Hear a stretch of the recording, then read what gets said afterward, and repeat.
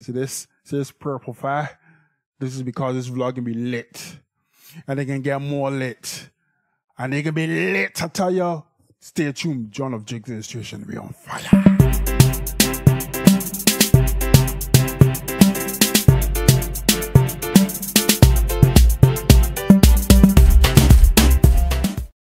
Hey everyone, this is John from Jiggs Illustration. Now the Bashment Soca competition has ended, so this is my two cents on this Bashment Soca competition and everything about it that went wrong, in my opinion. So you're watching Jiggs Illustration, and if you haven't subscribed yet, subscribe now. Hit that subscribe button so you will know when I drop another video. So let's go right into it, um, straight to the point. The winners. Now there was a tie. How did they get a tie in a Soca Monarch competition? Or in a Bashment soca competition or any competition at all, there should not be a tie. In my opinion, why could they not have a barometer on stage or some barometer where people will actually, if I'm an audience member and I'm watching you, of course I'll be able to determine if I like your performance or not. So what they could have done to break this tie, which is so easy, put uh, some barometer on the stage with an actual visual of it. So when people yell, yeah, and stuff like that, you can see it register and then they could determine who won from the crowd. Let the crowd decide who should have won. Then, if the judges can't do it, let the crowd decide. They were the ones watching it. It's what they like. Could have let the crowd decide, and they didn't do that. They just called SK, which everyone was really pleased that he won. But when you hear King Bubba, I heard a lot of boos going on. So what's going on there? What's up with that? Was it his performance up to par? You guys let me know in the comments. Was it his performance worthy of a first place? Was he even worthy of a second? How about a third? Was he even supposed to be on the event? How was this performance? You guys let me know in the comments. Now, but everyone was pleased with SK called SK. Um, he was the crowd pleaser of the night from what I've seen and from the comments I've seen. Um, I've seen other people say that it was a piss poor event as well, poorly executed, and some of the performances by some of the artists was kind of upsetting to them. So there's a lot of things that happen in this show that I guess a lot of people aren't pleased about. There's a lot of politics too that a lot of people might not be aware of that happens on shows as well. Like I have a big question mark of why Stiffy was missing in general. Like what's going on? Why is he being pushed out?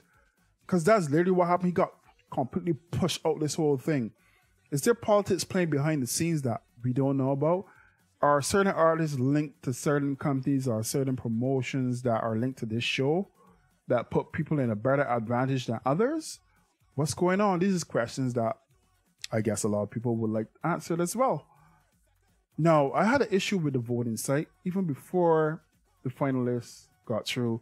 There was this part where you go on the website and you vote now for the favorite artist that you want to see go forward to the finals. Now, they also said that the votes will be added to what the judges score them as well. Now, if you want to be, if you're a new show, I think transparency is always a good thing. Why not, after you put the results of who went to the, or who have gone or made it to the finals, why not put how much votes they got and what you scored them? Transparency always gains confidence of people who are, or who wants to attend your event. So a little transparency would have been great, which they did not do. Um, from artists that didn't make it but actually got through as in the factor of there were so much entries of songs only certain songs were chosen out of the batch. Now they did not. I could be wrong but i thought that they would have promote these guys better. As in there's a lot of songs out there that a lot of people don't know. There's a lot of artists that people don't know. And you gotta publicize people. You gotta put them on radio stations. I know it takes money but you're pushing a show and you want money you want people interest, you gotta promote it properly. They should have put these people on radio stations for at least an hour on certain days or whatever. They could do it on TV as well. Um, promote, you know, the artists as in this is the song they're singing, blah blah blah. Let people get to know people, so you will know exactly what you want to vote for, and it would be kind of an unbiased vote. Because if a man song good, he song good, regardless of if you if you is a fan of them or not. If a song song good, you will vote on this. I hope. Then there was this thing with the site itself. You could have hit vote now and you would think that your song, you think your vote would register. But then there was a little thing in there that I noticed that you could have clicked on the artist name and then it will open, open another browser. You'll be able to see, you'll be able to tell or able to place your email address, put a comment about the song, or well, you like the song and then hit vote now. Now, which was it? Was you were you supposed to do that, or were you supposed to hit vote now? Which one registered your vote? No one knows. I don't even know. I was a little bit confused about that whole scenario. Then there were parts where the first day you could only vote once, and then like when it come close to the closing of voting, you, people could have voted like multiple times and it would go through. But the first day it won't go through. So what was up with that? I don't know. Now there's as I, I talked before. Let me talk about a little bit. There was this part where people, a lot of politics happen in a lot of things, especially in Barbados if you are associated or was associated to a, a certain party in power, um, things will happen but for you. And if you're not associated with the present party in power, things won't happen for you. So let's say, using an example, let's say me. I'm a DP, yeah, I'm a DLP man. I'm not a DLP man, I'm just saying. if it was me, a DLP person, I support DLP for all these years. And I used to get all the forward I can get, you know, put on different shows and stuff like that. Um, and all of a sudden, BLP come into power and then again push out. Regardless of if we have the best song in the world, somehow I can't even make it into the finals and nothing. So that means that politics happening. So when it comes to sponsors, like I've seen complaints like when people go to fetes, all they're hearing is certain songs over and over and over and over and they ain't hearing nothing different. Does that mean that the people sponsoring the event tells the person that actually um, holding the event or telling the DJ, you know, listen, I don't know who you play, but you better play these songs. I'm sponsoring these events and you my money going into your pocket. I want only these songs playing and I don't want these songs playing.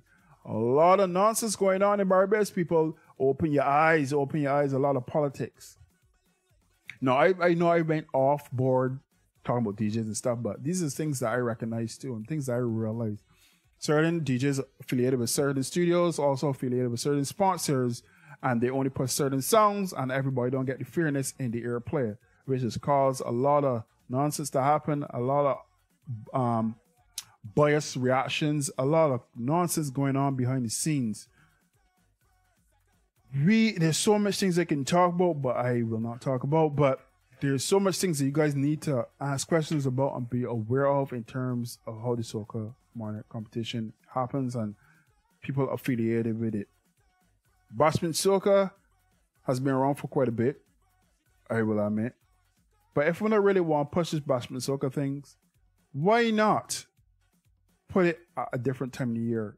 So Barbados would be have something going on all during the year, the calendar year. Like I know you've got reggae on the hill, there's got this reggae and dancehall portion earlier in the year. Then crop overs come along. There's another portion. Why not remove Bashment Soca from the soca thing itself, since it's dancehall and soca mixed together, and it sounds more like dancehall more than anything else? Why not put that after crop over season, where there there's going to be another thing for people to attend? Artists could continue and studios could continue pushing out music in terms of just Bashment Soca, um, um, just Bashment Soca music. Why not play it like in September? Hold a competition, you know, like how you're holding now, but an unbiased one. You know what I mean? Um, so you will get more artists, which means more work for studios, more work for artists, more events to come alive, a lot more things to do in Barbados after crop over season. Because after crop over season, everything's gonna fall flat on its face.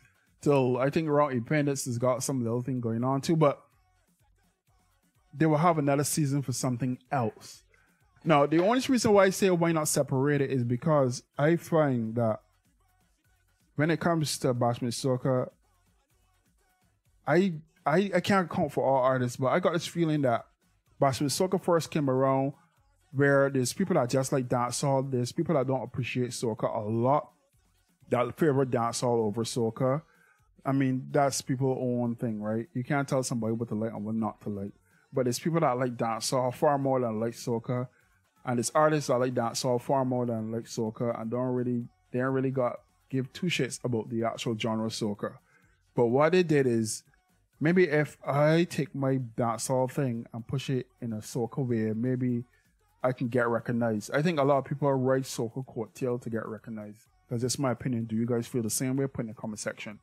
Do you feel that a lot of artists that think that um Bashment Soca only put only get involved because it's a way that they can promote themselves singing dancehall, but in a way they twist it to be soca and call it bashment soca, as in dancehall and soca combination. Do you guys feel that way? Because I feel that there's people that don't really like the art form or like the genre that much, but they only get in it for because they want to be recognized. So they decided to do dancehall and put it in soca. Now it is a big thing. Why not separate it? Why not take it and put it sometime further in the year where people that want to do bashment soca could produce bashment soca songs, write songs for bashment soca, where you will have another season for something else, another thing for people to go and enjoy, and there would not be no mix match or no confusion between soca, or really should be in soca or anything like that that would be another good thing. So after crop over, people will got something else to enjoy. I enjoy the whole thing of Bashment Soca celebrations. You know what I mean? You could do this. This is where you could look into to really um, solidifying Bashment Soca. Just don't don't leave it in the crop over season. Put it after the crop over season. You know what I mean? An extended version of crop over, but still nothing to do with crop over. Still put it as in it is soca, but it's dancehall, so it can have its own thing by itself. I really think it's big enough that it can do it by itself. As the amount of young people that involved and the amount of people that like it now, it could stand by itself. It doesn't necessarily need to be in crop over. It could be promoted after crop over. Really, the fact that you can get events for just Bashment soca, You can get um, shows going on. You can do the competition again, but a better competition than how it was this year. For the fact that if you call it international Bashment soca competition, you should have judges coming from different islands that are familiar with different accents because they're going to be artists from different Caribbean islands, um, probably entering or probably getting to the finals. Um, you should have this whole judges that aren't that are unbiased to certain artists. Um, if you want to get in, you your sponsor or your marketing team cannot have any connection at all to the promoters of the event or the competition because that is leaving room for people to question wait, did these judges get paid off before the event happened? They already know who was supposed to be winner. So, so many things and a lot of pissy people out there. A lot of people pissed about how this went down. There's a lot of people congratulating people, but there's also a lot of people that refuse to be blinded by what just happened and suppose this was a car. I think I just said this earlier in, in what I was saying. Suppose it was a car. Would King Bubba and SK had to split the car in half to get to get the price? There should be no tie, people. No tie. There should be no judges just from Barbados only either. Is that is not international. There should be no one link to the competition itself, as in promoter wise. There should be no artist that has people uh, backing people as terms of marketing or sponsors that are connected to the show because this will cause people to think that you know what this show is set up for this certain person to win already. You need a revamp on this show. That's just my opinion. But there's a lot of things that I can talk about. It's up for you, the people, to decide and to not be blinded by what's going on. There's a lot of politics going on behind the scenes. I'm realizing this now a lot of things that I'm opening up my eyes to in forms of certain artists that used to be for certain parties don't get pushed no more. They get pushed to the side, and certain artists that fully part the party in power all of a sudden moving out the line. It could be a coincidence. We don't know. But it does make you think, doesn't it? Did I just make you think about all these things that I just said? Did I make you think about the things that are going on behind the scenes? Huh? Did I make you guys think? Because I believe there's a lot of behind the scene politics, a lot of underhand moves that going on that puts a lot of questions in people's mind, including mine, about how things are being executed and how certain artists that are being left out and some artists that don't even deserve to be in the position that they're in end up being where they are. In terms of when I say don't deserve, I mean in terms of the way how they perform and they somehow get to where they get. You know what I mean?